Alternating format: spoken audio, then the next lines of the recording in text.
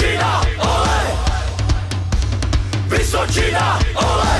Luďo, eh, Vysočina zažila ve druhé půli v Chrudimi eh, opravdu málo výdaný eh, kolaps. Co říct si ke čtyřem inkasovaným brankám? Jak ty jsi to viděl ze své pozice brankáře? No, já myslím, že jsme ještě v sezóně 4 góly, ani možná 3 jsme nikde nedostali a, a teď dostaneme za 15 minut druhého poločasu, kdy vedeme 1-0 a nerozumím tomu, nerozumím tomu, co se nám odehrává v hlavách, když nastoupíme do, do druhého poločasu, říkáme si něco v kabině a, a na hřišti to pak vypadá tak, jak to vypadá.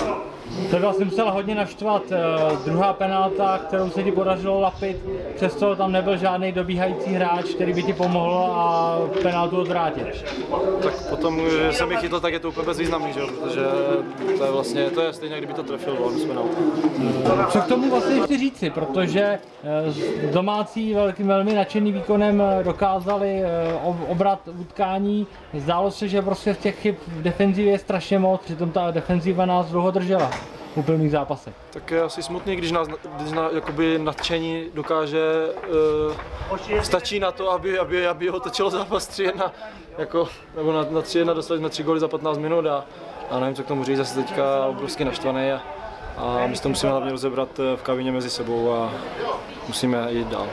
No, hodně paradoxní je, že když už dokážete nepříznivý stav 3-1 otočit na 3-3, tak nevytěžíte z toho nadšení třeba i vítěznou branku, ale místo toho inkasujete ze situace, kdy jste měli vápně více hráčů.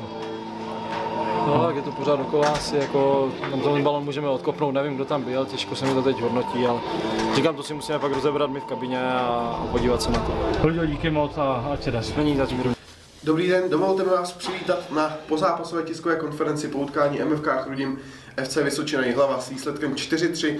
Úplně na úvod poprosím o hodnocení obou trenérů. Začneme z hostující strany panem trenérem Kučerou. Dobrý den. Hodnocení, řekl bych, že domácí si šli za těma třema bodama daleko víc. Měli pasáže hry v zápase, kdy myslím, že první poločas začali velice dobře, velice aktivně, vytvořili jsme si dvě, tři golové šance, neproměnili jsme je. Pak si domácí vytvořili penaltu, dvě golové šance. A druhý poločas jsme chtěli hrát aktivně, stejně jako první poločas. Řeknu na začátku úplně druhé půle jsme po standardní situaci domácí nebo takové ztrátě míče, prostě Prajzla špatně vyhodnotil situaci, bych řekl, mm, kdy mohl hrát na klobásu, který byl úplně sám na půlce, šel by z půlky sám. Eh, Řeknu, nezahrál to a pak jsme měli jako pasáž, prostě když jsme se dostali 10 minut do totálního útlumu, což vůbec nechápu, byli jsme úplně spacifikovaní, totální výpadek celého mužstva.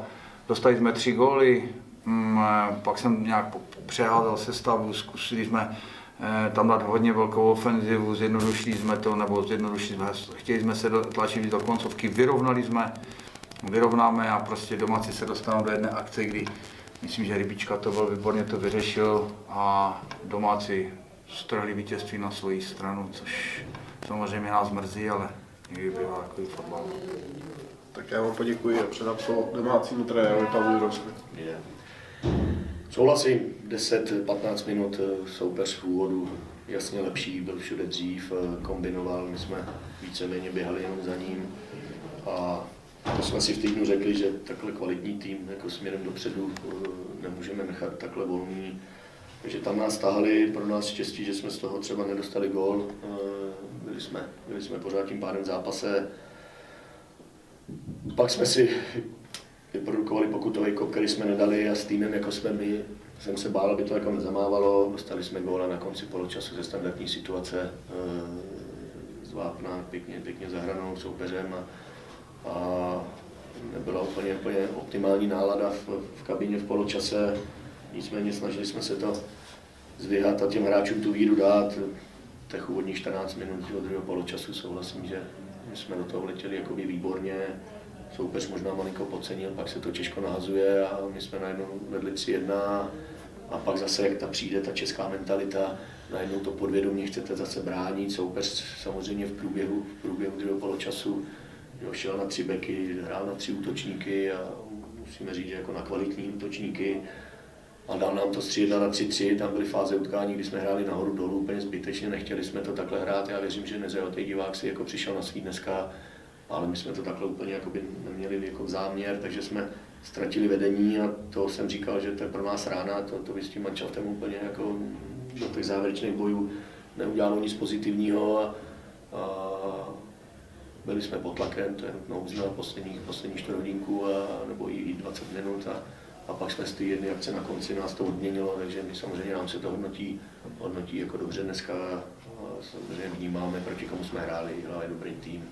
My jsme dneska dokázali dát čtyři góly, to samozřejmě dlouhodobě se nedá vyhrávat, když budete dostávat tolik gólů, kolik dostáváme my, to je náš největší problém, takže dneska si to vážíme, hráči mají ode mě velkou pochvalu.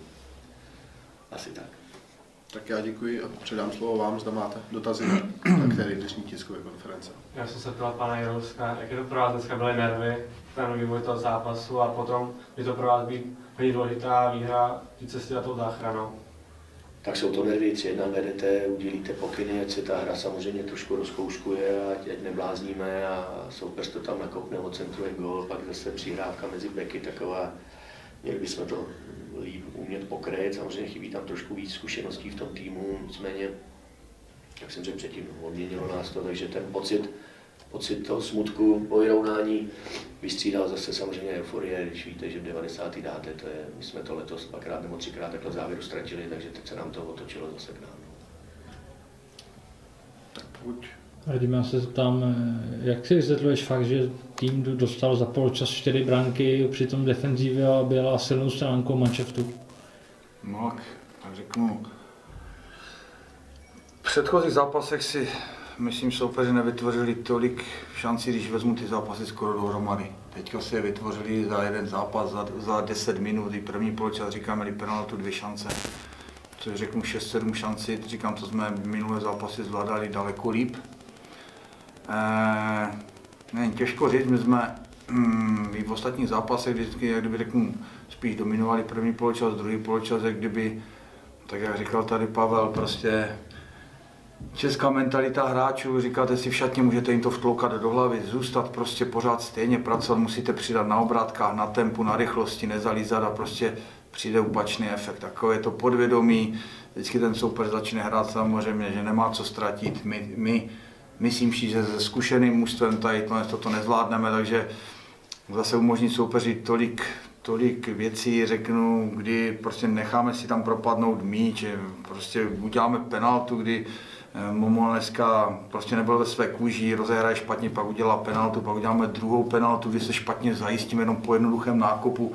Řeknu, kdyby si soupeř vypracoval takové úplně takové ty, ty kombinace strojové, prostě trefil to někdo z dálky ze šibenice, ale řeknu, bylo to ve zhuštěném prostoru, kdy se můžeme daleko líp za, eh, zajistit prostě a, a mm, hrát líp jeden na jednoho, tak tyhle ty momenty jsme dneska nezvládali. A nevím, jestli to bylo špatné koncentro, koncentrovanosti. Těžko říct, to, na to, to si rozebereme s hráčem a to zjistím až, až po zhlednutí videa, samozřejmě po hodnocení a po nějakých rozhovorech s hráčem. Nakolik do toho mohlo promluvit vynucené střídání Novotného?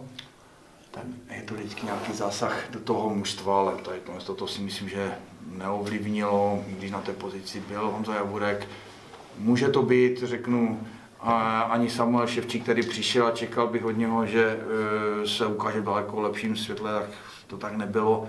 Takže samozřejmě ten, v tom, když to takhle je, tak, tak to může být, ale vystřelil jsem do jednoho hráče, je tam zblých 10 i s brankářem 9, teda plus brankář, tak by to měli zvládat tady ty situace. A my jsme dneska doopravdy dostali zase gol v 90. minutě jako ve Vlašimi a řeknu, to je prostě nekoncentrovanost, tam se musí hrát prostě za každou cenu ostražitě, nenechat vůbec ani centrovat. A řeknu, že dneska my jsme měli problémy s tím, že Vašulin výborně pokrýval míče, Rybička to pod ním dobře sbíral, dobře ho doplňoval, nestratil míč, Rybičku znám ze Znojma, dokáže v těch zápasech působit, že ho doopravdy nevidíte a pak ho, pak ho nedokážete ani uhlídat. Prostě eh, dneska, dneska měl to druhé.